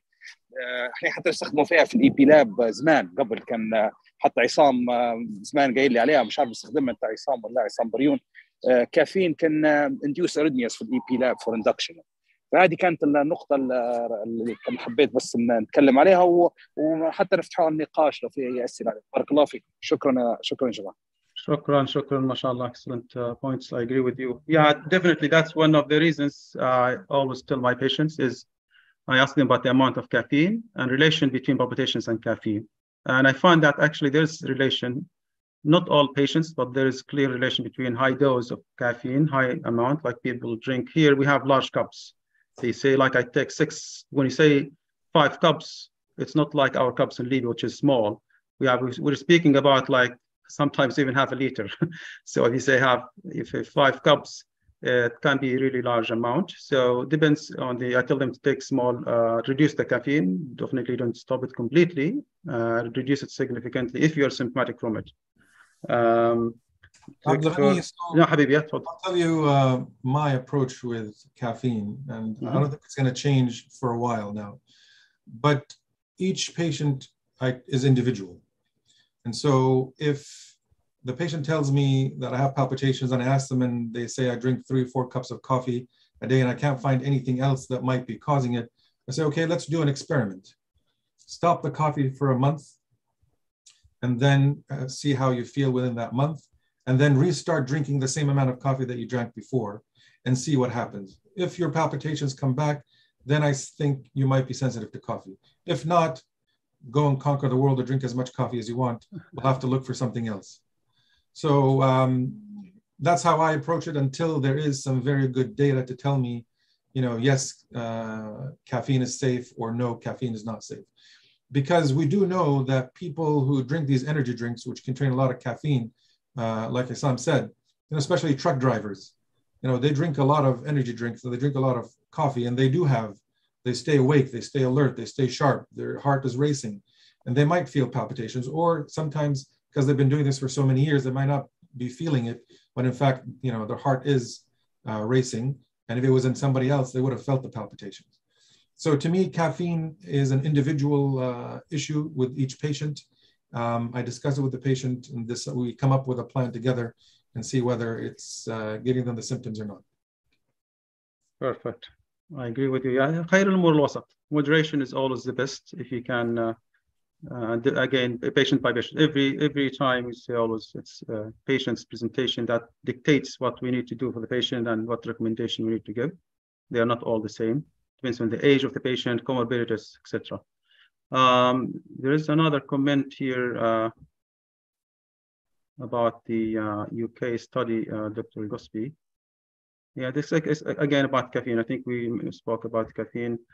Uh, Dr. Adel Dayoub, I think you have your hand on. You have the floor if you want to uh, unmute yourself and uh, you say your words.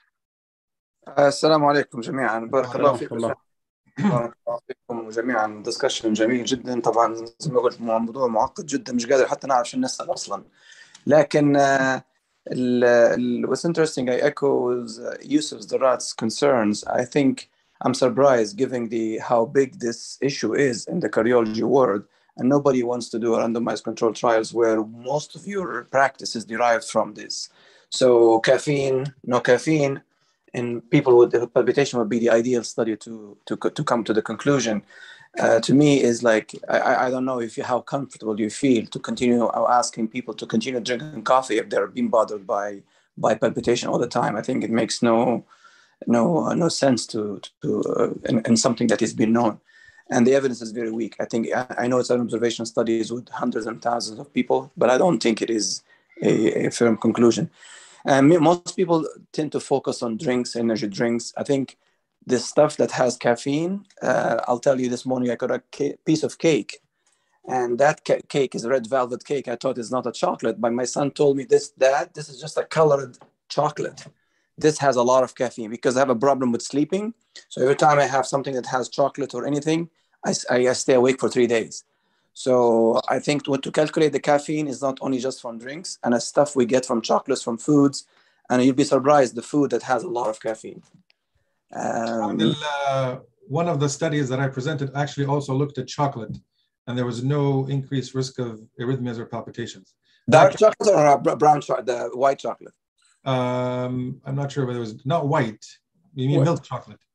Okay. Oh. Uh, but so, I think, الكاكاو عادي يعني الكاكاو نمشوا نمشوا عندي نفوتوه يعني البرنامج بتاعنا الشوكولاته Like, again again these are not uh, randomized controlled trials and these are you know take it or leave it uh, you can do whatever you want with the information um, again it's just individual individual if you feel like chocolate makes you awake don't eat it how about yeah, decaf? definitely it's the uh, Adel. It's the decaf. it's individual. Uh, it's case by case basis. That's what we, I think, we recommend here to everybody hearing us is drink your coffee, enjoy your coffee, don't overdo it. It's case by case. If patient is symptomatic from caffeine, tell them to have a caffeine holiday yeah. until you figure out what's going on, as Dr. Osama mentioned. ما هو يوسف عادل تفضل يا عادل عبد الغني يعني مشكلتي في ليبيا تعرف علاش؟ ليبي مش تلقاهم تاع إحنا يشبوا في الدبل تربل اكسبريس وهذوك المسمومات اللي تاخذ واحدة تقعد فيها أسبوع ف I'm, I'm not sure uh, it will be the same science applicable to Libya. Uh, okay, that, barakallah fiik, Dr. Adil. Uh, I think Dr. Fathi Idris is back now. Dr. Fathi Idris, if you can hear me, please unmute yourself and you say your uh, wisdom words about this presentation. السلام عليكم ورحمة الله تسمع السلام الله نسمع فيك واضح شكرا بارك الله أنا sorry I stepped out uh, No, and I told them no problems. I understand. لكن uh, حقيقة uh, very informative, very nice. شكرا دكتور أسامة. Uh, a couple of things مش عارف أنا الموضوع جيت طلعت جيت لقيت موضوع على القهوة so you made me very uh, uh, eager to have a cup of coffee now. بس uh, مش حنحكي على القهوة. I think is very important uh, for, especially for our colleagues in Libya, to, to determine uh, how to monitor patients with palpitation. It's a, it's a very big topic. And, and, and I think the focus, uh, what I try to um, indicate that you should have, you do, you do your best to document the rhythm of the patient when the patient had the symptoms on a piece of paper. So monitoring is so crucial.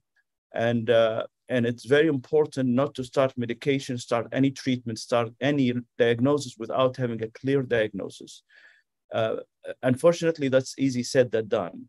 And the, the, the, best term to use to describe this, what I'm trying to say, is symptom rhythm correlation.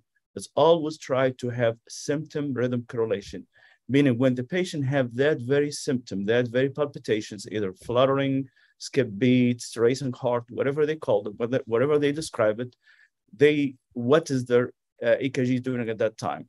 And as you can see, Sharif, Dr. Uh, Osama, if you can pull the slide when you show lots of Holters there, uh, there's lots of monitoring uh, tools and they're getting more, getting to the degree you get confused. And Dr. Zaman, after I finished my training, there were about Holter and two others, King of Heart or whatever. Now we have multiple companies that have several ways. And I don't know if that's the, uh, Dr. Uh, Khalid earlier, he said not all of those available for Libya, but it's you understand the concept. It doesn't matter which company does it. So the concept is which monitor to choose to which patient. And is, is that improve your ability to capture the rhythm? Uh, yes, this slide here. So, so uh, to capture the, the rhythm when the patient has the symptoms. So uh, it all depends on the history. If the patient has symptoms ha happening every day, the patient said every day, uh, I have this palpitation or skip beat, etc and then a Holter for 24 hour or 48 hours may be sufficient, like the one in your top right hand of the, of the slide. You see that? Yes, exactly. That's a classical Holter. And, and the others, they are actually not called Holters. Holter is just a, it's a trade name stuck with this, but they are event monitor loops, external loop, internal loop, implantable loops, and the loops itself goes to LINQs, reveals, all, etc. So but the so the term Holter just it records every single heartbeat for the next 24, 48 hours, whatever. The patient has the ability to trigger, have the ability, but cannot to communicate with the device directly. The patient has to have a piece of paper and write the time يكتب مثلا الساعة 12 ونص. اه حسيت الخفقان الآن. الساعة 3 ونص حسيت الخفقان الآن.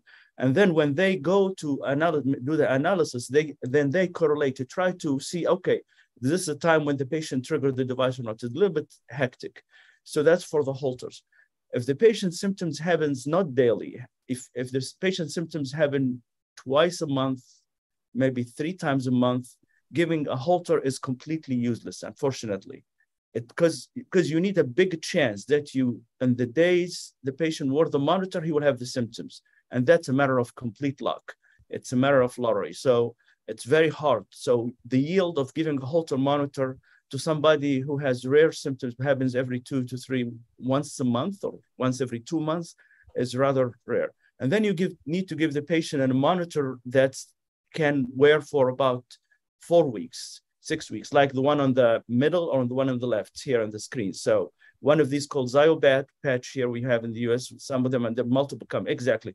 And these are actually, these are monitors where the patient can, uh, they will give him a cell phone-like device and the patient can touch the, the, the, monitor and activate. Every time feel the symptoms, can touch this patch, you see it on his chest, and, and this can trigger the device and mark it for you. So when you go and look at the tracings, you see mark, okay, here's the patient felt the symptoms. Maybe, like you said earlier, Osama, maybe completely normal sinus rhythm.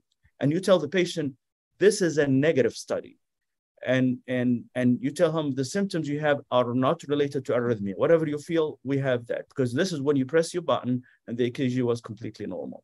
So, but if you give a monitor for 24 hours, not going to capture this because this is you need weeks or so. Now, if the patient's symptoms happens once every uh, three months or twice a year or once, and then even giving that thing with the patch is going to be the same thing. Likely in these three, four weeks, you give him the monitor, the patch, he may has no symptoms. And then, and these are the ones you go to the top right, top left part of your slides to the implantable stuff. And implantable so simple. Now, many places they can do them in the office. Uh, it's simple incision. It takes you about eight minutes to do the whole procedure and put a stitch or sometimes not even a stitch and done. And that, and that implantable loop will stay in the body, uh, usually has a, bat a battery that lasts for three years, sometimes three and a half years. And not only that, and also the patient will be given some tool so it can mark the times when they feel the symptoms. Typically syncope, but other symptoms can be to assess AF burden and stuff. So what I'm trying to, to say here is it's very important to know which tool to choose for which symptom so you can have the, the golden standard, which is symptom rhythm correlation. Now, I see a lot of Holter monitors either uh, here where I practice in the United States or sometimes from Tunis, from Libya, from other. Unfortunately, many of those reports are unfortunately are completely useless because the report you find a big chunk of saying the patient has 6 million 400 beats patient have whatever number of PACs, whatever number of PVCs, whatever number of those, and all of this, which has sometimes practically no meaning. Unless there is a, a line indicates how many times the patient has symptoms when the monitor was worn and where, where with these correlated to any particular arrhythmias or not. And this will bring up to the interpretation of monitor. As, as there's a big difference between a negative Holter monitor or a non-diagnostic Holter monitor. If the, if the patient wore the monitor for two days and then has no symptoms and brought it back to you and you read it and it's completely normal sinus rhythm with a few PVCs, PACs, you cannot say this is a negative Holter monitor. This is non-diagnostic because the patient did not have the symptoms. The diagnostic Holter monitors only if the patient has the symptoms and there is no arrhythmia associated with it. And that's, that's you can write the monitor is neg negative. The positive monitor, of course, if the patient has arrhythmia and you capture it and correlate to the rhythm. That's not common, that's rare, but that's what you call it monitor. So it's very important when you use terminology negative versus non-diagnostic Holter monitor. Last thing I want to mention, because I think somebody mentioned this before, I want to just put emphasis on that use of medication, especially for POTS. I see that you spoke about POTS and stuff.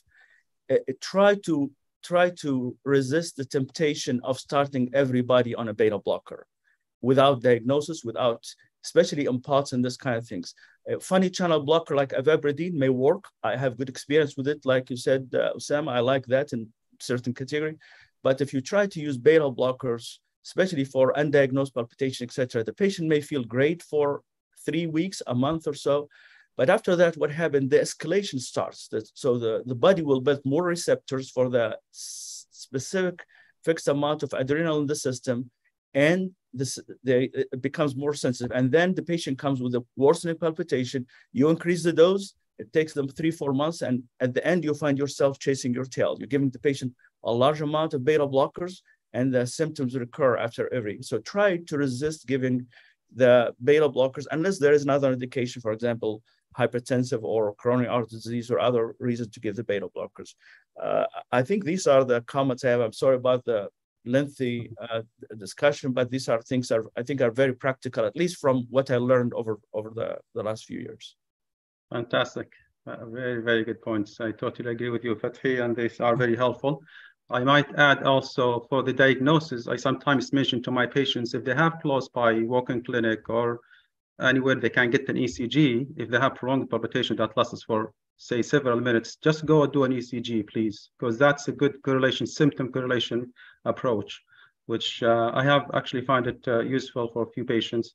So try that option also. If patient has symptoms, just go somewhere, do an ECG if possible. Uh, that way you have, and always keep the ECG. I, I highly recommend that everybody who does an ECG to send the ECG with the referral to the cardiologist. So that way you know what you are dealing with if there's arrhythmia, especially if that happens in the emergency de department, especially after cardioversion, for example. Uh, there's... Uh, just yeah, yeah, please, go ahead. Uh, the documentation ECGs. What I do is actually give my patients a copy of the ECG to put in their wallet and take a picture of it on their phone so that when they go to wherever they go, if they have like this is what I had, this is the documentation. You don't have to kind of question my uh, words and say whether I do have that problem or not. Excellent. Yeah, that's even good. Yeah, there are two people uh, uh, actually raising their hands, but I am aware of that. Just Dr. Osama Halil asked a question about inappropriate science psychiatry. Dr. Haley, do you want to comment on that? Do you want to uh, ask your question? If you unmute yourself, Osama. السلام عليكم جميعا وعليكم السلام ورحمة الله وعليكم السلام ورحمة الله وبركاته شكرا عبد الغني شكرا أسامة الحقيقة it was very excellent super uh, lecture والله uh, I learned a lot بارك الله فيك و it was very nice في البرزنتيشن بتاعك الحقيقة هي الحاجة الوحيدة اللي ممكن بنضيفها بس uh, للزملاء هنا في ليبيا إن الهولتر اي سي جي زي ما قال دكتور خالد الوليد إن إحنا وي دونت يوز ات ان بروبر واي الحقيقة. اللي يديروا في الانتربريتيشن في العادة النيرسز اللي مقعمزين في ال في ال في الواحد في في اللاب يديروا في البرنت اوت وإحنا نشوفه في البرنت اوت بناء على ما هي تراها الممرضة اللي موجودة في في المستشفى أو في العيادة. أنا أنصح الدكاترة كلهم إن كل واحد بيطلب هولتر اي سي جي الأفضل إنه هو يشوفه بروحه على المونيتور.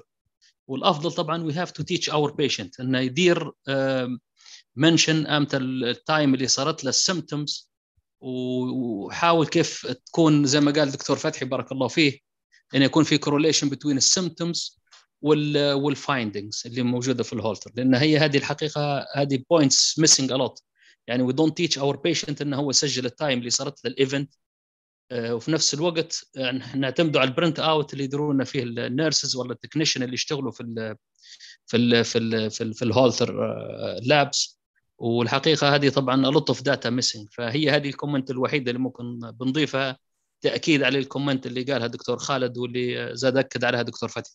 بارك الله فيك أسامة مرة ثانية. It was very excellent والله. شكرا. بارك الله فيك. الله يبارك فيك أسامة ما شاء الله. بالنسبة للامبروبريت ساينس tachycardia أسامة it's, it's not uncommon. uh, like لكن نعطي doctor.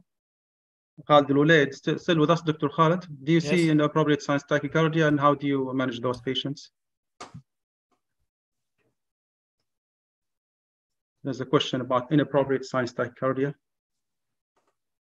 شوف السلايد يا عبد ولا لا؟ اي واضحه اي شكرا اسامه. Unmute yourself يا دكتور خالد ما اسمعش فيك. ايوه. You hear me now? Yeah, we hear you. It is. Hello?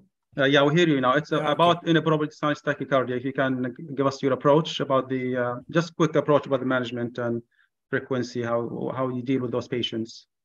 It is not uncommon here, and we have a difficult to for diagnose for this, uh, these patients, uh, really.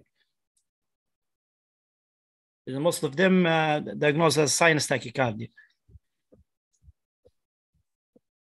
You know, um, yeah. I just yeah. a patient today um, who I'm having trouble and struggling with yes. controlling his inappropriate sinus tachycardia. Unfortunately, it's not an easy, easy uh, condition diagnosis to, to, to treat, diagnose and treat.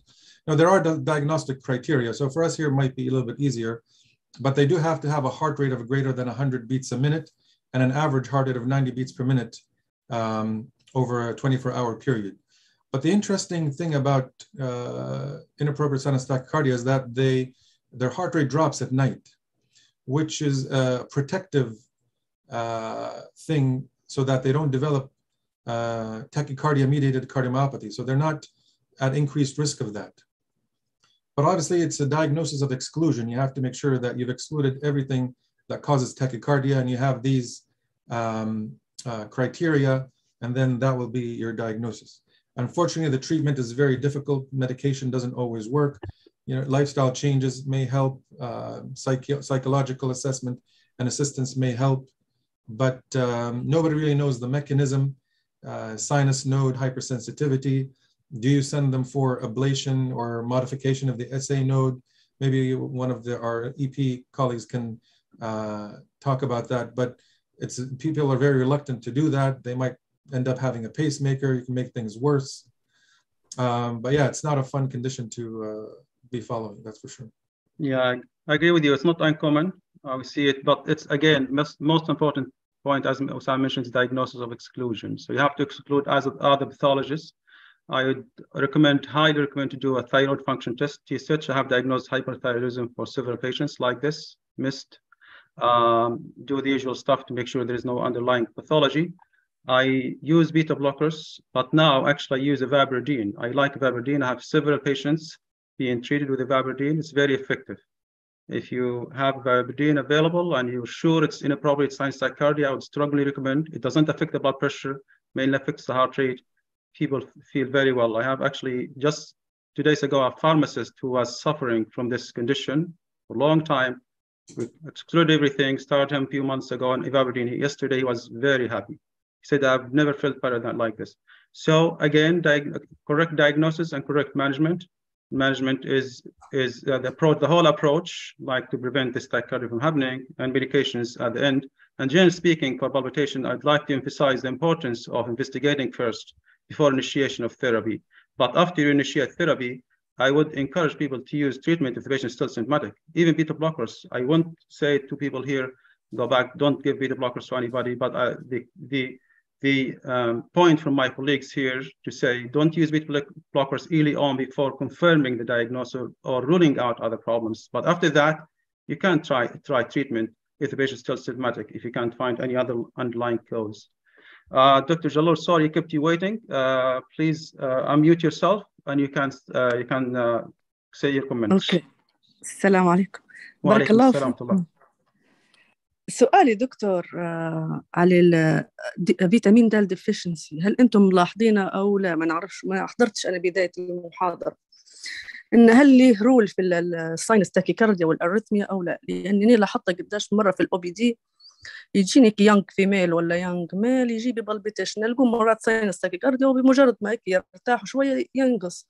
لكن لما نديروا له كومبليتيك انفستيجيشن نلقوا ديما فيتامين د ديفيشنسي وبعد ما نبدو لك يعني التريتمنت نعطوا لك يعني جاست انرجيزيا وفيتامين د انجكشن 200000 ونقولوا له فولو اب لما يتابع الاعراض يعني تختفي ما نعرفش هل انت فيه رول أو لا A very good point. Yeah, vitamin D is very common, but I'll give that to Dr. Fathi Idris. Dr. Idris, if you can hear me, are you able to answer that question about correlation between vitamin D deficiency and palpitations?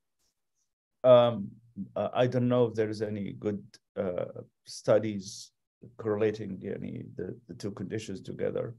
Vitamin D probably is not uncommon in general. It's a common problem. Lots of people have it. Uh, myself, had vitamin D deficiency when I had my blood work last year. So I ended up taking some blood uh, vitamin D. So it's not uncommon problem. And of course, the degree of symptoms can be variable. So is this an incidental or there's good correlation? I, I, I don't know if there is data out there to to to uh, specifically have looked at this. I'm curious now after this presentation. I'm gonna go look it up. But لان uh, بصراحه راهو لاحظتها في هلبة يعني مش خلال سنه او خلال سنتين يعني يعني تحسن تعطي المريض فيتامين دي إيه بمجرد ايه ما يحكي انه هو الاعراض اختفت بمجرد ما يرقى الفيتامين د فوق 30 فهمت But is this is, is if there's is this is so اعراض subjective but is there any objective documentation that the heart rate uh, goes from like 115 beats per يعني minute الأعراض التاكيكارديا واللي يحسيه بالبالبيتيشن يختفي Yeah, no, palpitation is fine. Sim- is, is subjective symptoms. Can the patient tired, fatigue? But is there any objective evidence قصدي يعني تو في الاي سي جي الحق كلهم نلقوا فيهم ساينس تاكيكارديا أو هيك نلقوا ريجولار لكن جست إنه هو فيلينج بالبيتيشن Yeah, so it's, yeah, the feeling overall. وكلهم طبعا في الفترة المسائية فهمتني مثلا كان شغل أو شيء فهمتني Yeah, it would be interesting to see if there is if this subjective. انا حسيتها يعني كذا مره يعني مش في حاله واحده او اثنين فبمجرد هو bottom line دكتور جلول bottom line there is there is no evidence as Dr. Fathi Idris mentioned there is no evidence to support that but definitely patients with uh, vitamin D deficiency they have general symptoms one of them is palpitations and they will have they will have improvement in their symptoms most likely including palpitations بهم. السؤال الثاني هل هو احتمال لما الواحد يقعد يستمر في فيتامين د يعني ديفيشنسي أو فيتامين فيتامين د يخش في اريثميا ويخش في اس بي تي لأن في تو أنا لاحظت مثلا زي تو إحنا الدكاترة باي وخاصة هما اللي ان بيشنت زي جماعة الأنستيزيا.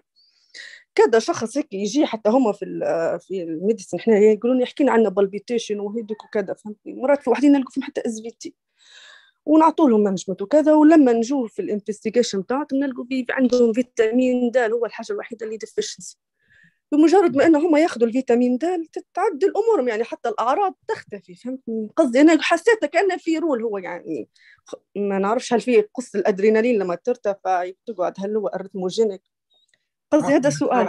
دكتور اعطي دكتور أسامة القصبي يتفضل go ahead There is no evidence that I found about um, vitamin D and arrhythmias or palpitations.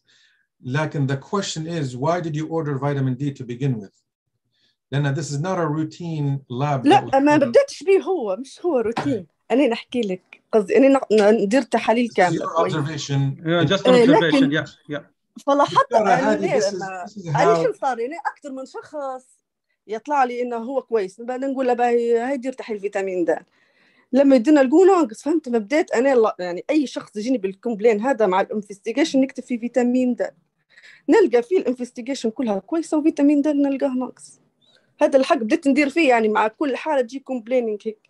يا دكتورة ما دام أنت يعني في مكان عندك الكم من المرضى هذول اللي هم عندهم of vitamin D علاش ما تبديش في observational study تلمي داتا أنت this is probably a publishable uh, publishable study يعني اذا كان this is a novel thing to think of لأن إحنا we don't even check it for anybody who has palpitations or any arrhythmias it's not even on our radar يعني هناك ما فيش ف... أنا عادي الحق ماذا بي يعني أنا قصدي كذا شخص مش حاجة واثنين يعني وخلال سنتين تو مالي الاخيرات لاحظتها يعني خاصه خلال سنتين لو مثلا 20 شخص that's not a big number لكن قولي في خلال لا هو فيتامين دي او بس بدي ناكد عليها دكتوره سمر هو فيتامين دي is very deficiency is very common very very common and it can be very detrimental can be very symptomatic patients can be very tired they don't know why they're not feeling well until they get the vitamin D replacement well, palpitations also very common one of the most common one of the most common visits to emergency is palpitations. Like 16% in one of the studies 16% of cardiac patients come to emerge is because of palpitations. So i'm not surprised to hear that those patients some of them or lots of them have vitamin d not necessarily to be the cause of the palpitations but maybe add, mm. added up. I definitely would recommend always to continue the same plan as dr Gusbi mentioned to rule out other high risk features then you treat, as, as you mentioned, you treat you treat the condition, and uh, vitamin D replacement is is mandatory, as you know. Yeah.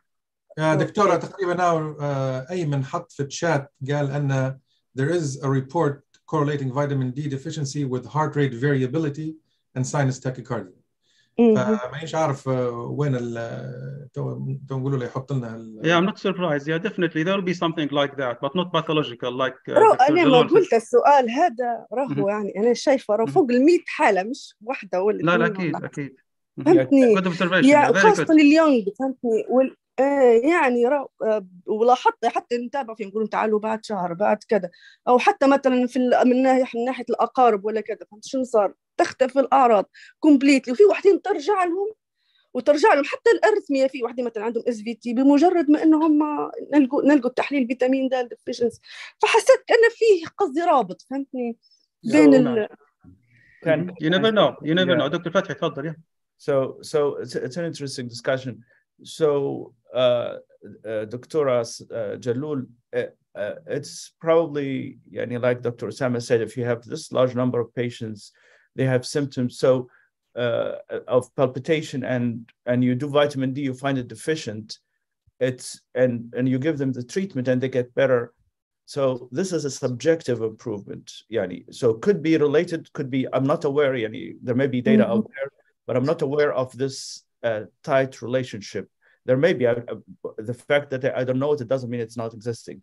But what I'm saying is that be careful because subjective evidence of link between uh, these two conditions, palpitations, like Abdulghani said, palpitation is quite common. Vitamin D deficiency is quite common. Lots of people have it and they don't know even they have it. I told you I had myself and I was completely asymptomatic. So, but the fact that you replace vitamin D doesn't necessarily mean that this patient's arrhythmia is solved. They still can have atrial fibrillation, they can have SVT, something else. So even if they subjectively felt better with the with the vitamin D improvement, because vitamin D severe deficiency can cause people tired and fatigue, it doesn't mean that the palpitation is fixed. You always keep in mind that if they come with palpitation again, just don't crank up vitamin D to the roof. Just just kept okay. This is vitamin D. فهمت عليك So, so you يعني اول حاجه ديما الاي بي سي يعني معك object you need to get an objective correlation so you give it's still worth giving them the monitor and see what's the symptoms they have where where their report palpitations you see what i'm saying so two common conditions can coexist together but you need to have an objective evidence what's the patient's heart rate is doing when they have those symptoms perfect yeah that's that's a great discussion i totally agree with all those points uh, I think we should wrap up Osama here. Uh, I would like to ask any of the audience if they have any other questions, please raise your hand. Raise your hand if you have questions. I will be happy to uh, open the floor for you. And I then I have to wrap up now. Uh, I will start with you, Dr. Osama Al-Gusbi, if you have any final comments about the presentation, anything you'd like to add. Uh, fiqh, uh, Dr. Abdghani. This is a very excellent discussion, um, very useful. Uh, in fact, you always uh, think that you know, but um, you get when you hear your colleague talk, you get to uh, realize how much little you know. Um, but my uh, advice is to uh, listen to your patient, take a good history, do a good physical exam, don't over investigate. Um, and that's pretty much it. Those are the key points. Thank you very much. Dr. Khalid Al-Waleed, if you can uh, say your final comments.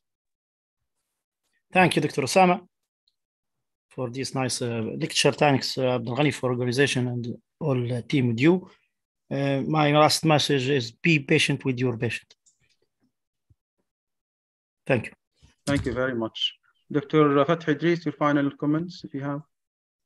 No, I think uh, same thing. Thank you, everybody. This was a very informative presentation and very common problems. Uh, not easy a topic to handle, but uh, again, I think uh, it was interesting discussions and uh, very informative. And I, I don't have uh, much to to add other than the few comments I said earlier.